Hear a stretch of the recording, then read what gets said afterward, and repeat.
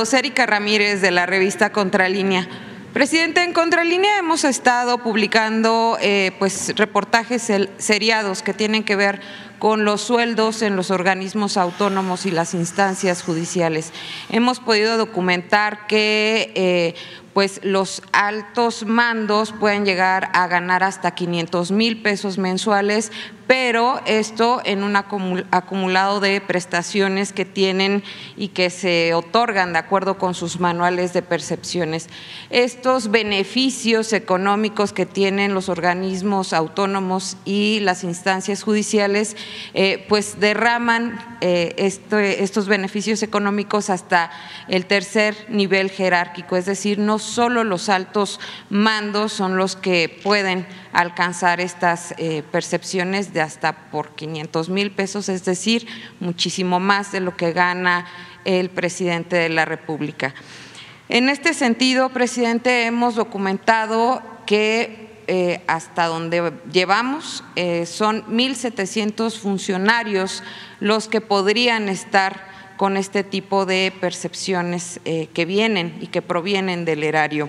Por ejemplo, eh, los ministros de la Corte perciben 400 mil pesos mensuales. Los magistrados y jueces del Consejo de la Judicatura obtienen más de 500 mil pesos mensuales. Los consejeros del INE, 262 mil pesos mensuales y cantidades similares las encontramos en el Instituto Federal de Telecomunicaciones y la Comisión Reguladora de Energía.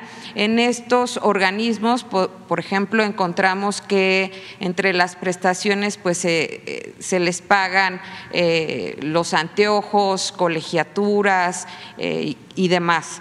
Eh, además de que estas instituciones pues han demostrado abiertamente que son defensoras de intereses privados.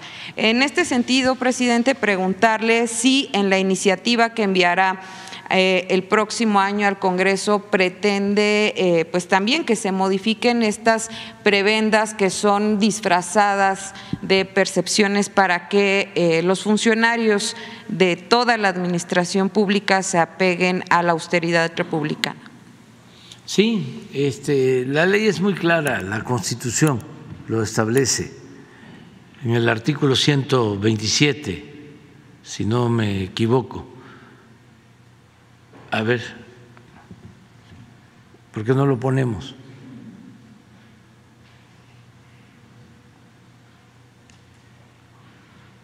Entonces, lo que se tiene que hacer es este,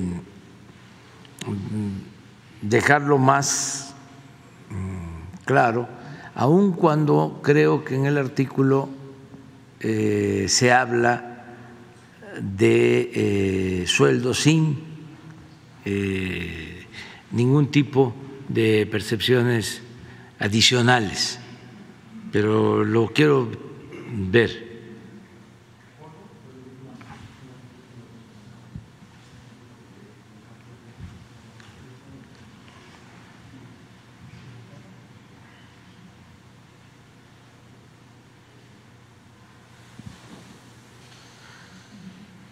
Sí, ese es, sí es el 127. El presidente de la República, eh, los ministros de la Suprema Corte de Justicia, los diputados, senadores y demás funcionarios públicos de la Federación. No sé si sea eh, este, porque puede ser proyecto. ¿eh?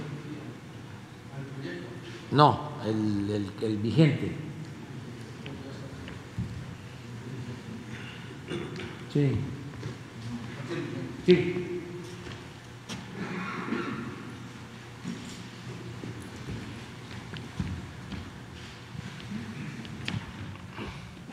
Bueno, aquí se, se habla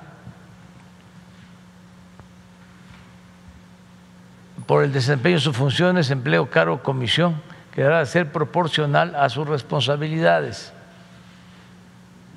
Dicha remuneración será determinada anual y equitativamente en los presupuestos de egresos correspondientes bajo las siguientes bases. Se considera remuneración o retribución, eso es a lo que me refería, toda percepción en efectivo o en especie, incluyendo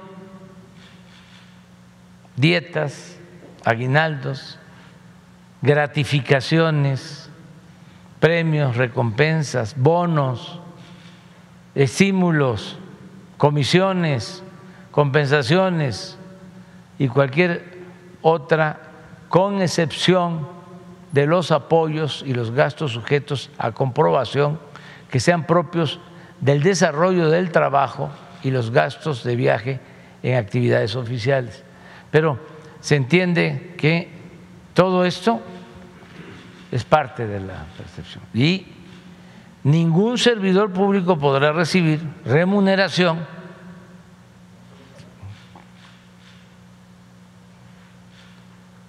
eh, cuando se habla de se considera remuneración. Aquí se excluye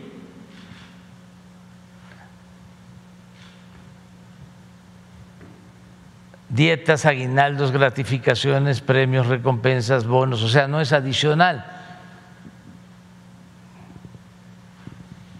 Ningún servidor público podrá recibir remuneración en términos de la fracción anterior por el desempeño de su función, empleo, cargo, comisión mayor a la establecida para el presidente de la República en el presupuesto correspondiente es, es muy claro. Este,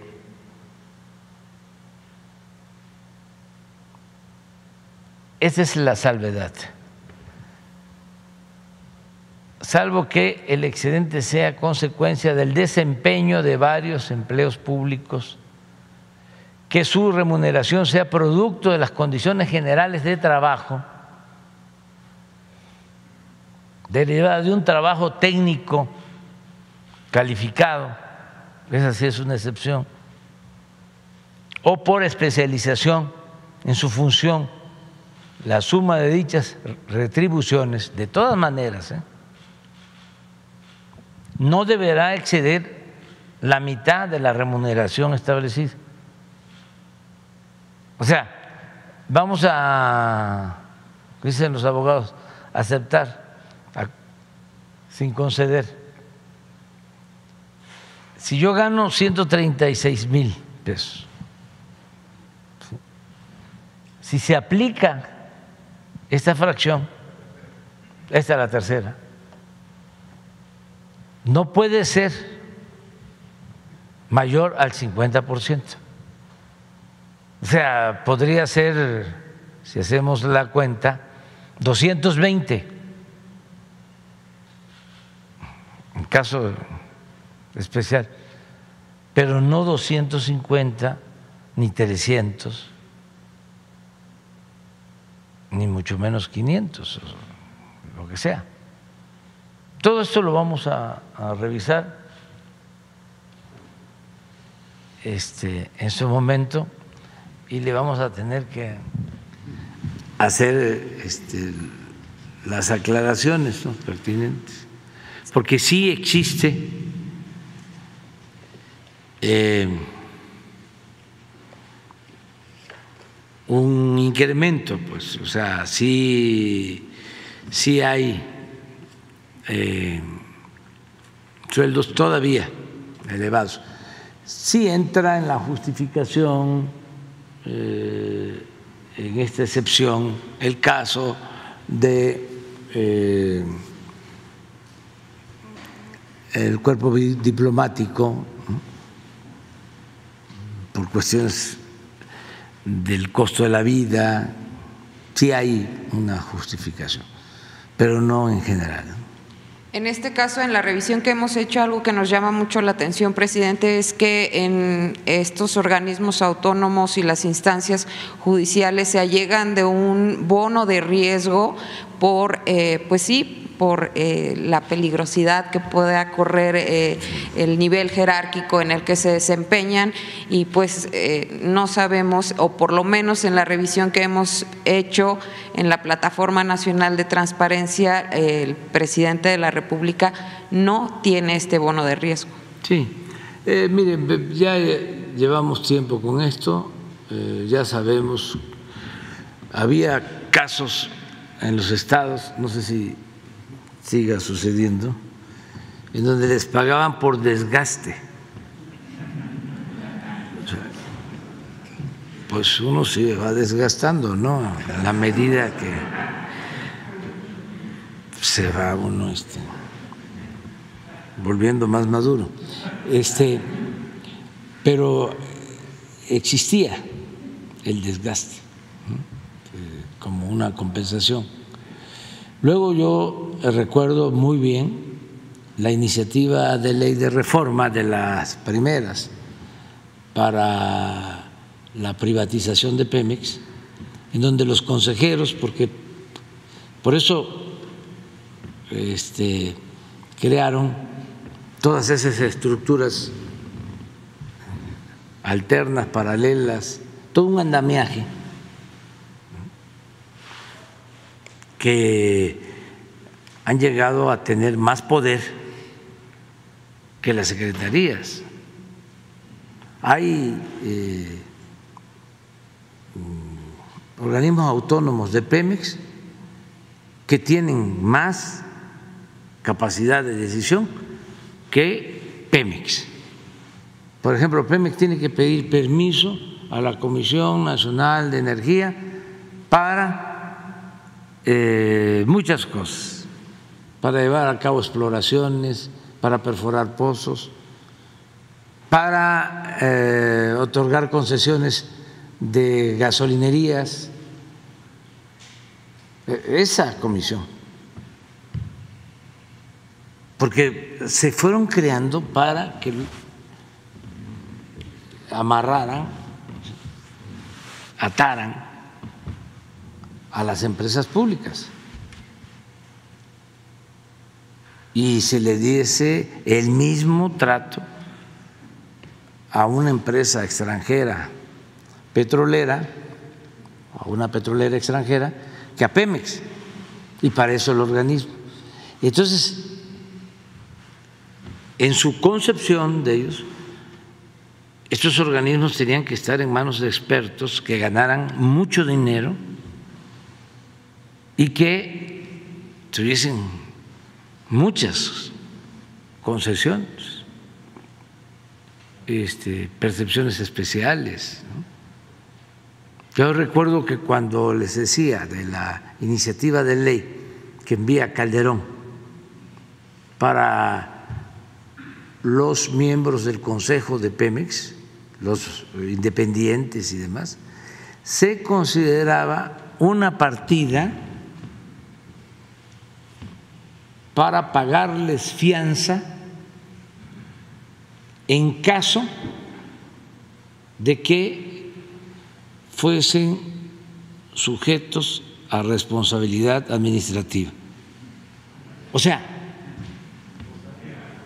Pemex tenía que pagarles a ellos sus fianzas, a los propios servidores públicos, consejeros. Si cometían un delito o estaban enjuiciados, se les tenía que dar toda la protección. Es toda una estructura, pues es una concepción eh, de la política neoliberal para privatizarlo todo y este, limitar el poder público y poner por encima del poder público el poder privado. Entonces todo eso pues, tiene que ir bien. Lo que este, echaron para atrás de que como un servidor público eh, termina, un alto servidor público, en Pemex, en la Comisión Federal de Electricidad, en el gobierno federal, y se va a trabajar a una empresa a la que le dio contratos cuando estuvo en funciones o llevó a cabo acciones comerciales, como el caso de Cedillo, que privatiza los ferrocarriles y una de las empresas que se beneficia con la privatización de los ferrocarriles se lo lleva de asesor. Por el caso de Calderón, que es secretario de Energía y luego presidente, y termina y se va a trabajar de consejero de Iberdrola.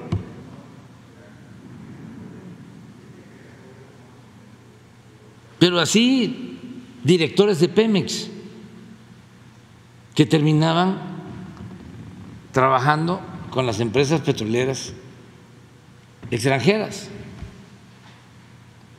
Cuando llevan a cabo las llamadas rondas para entregar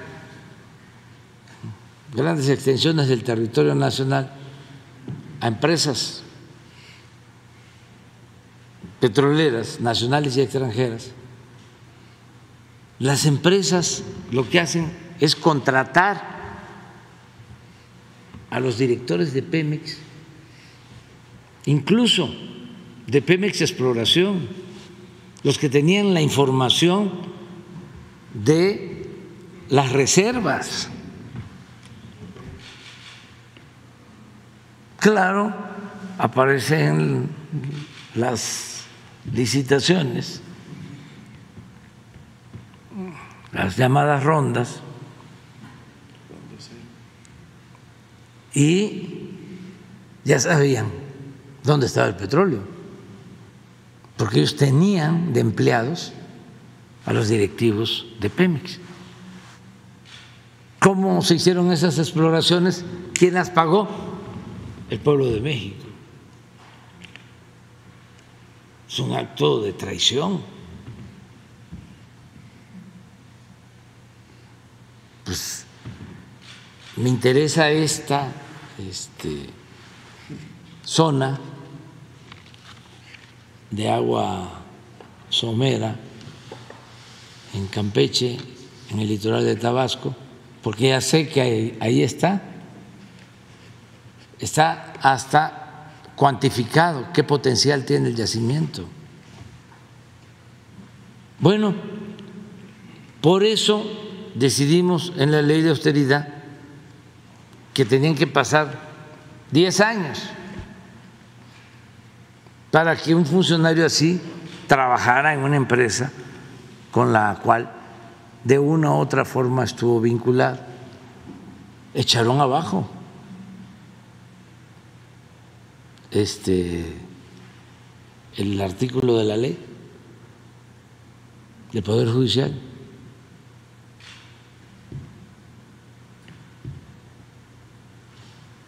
Si se ha estado batallando, pero vamos a seguir haciéndolo ya me tengo que ir.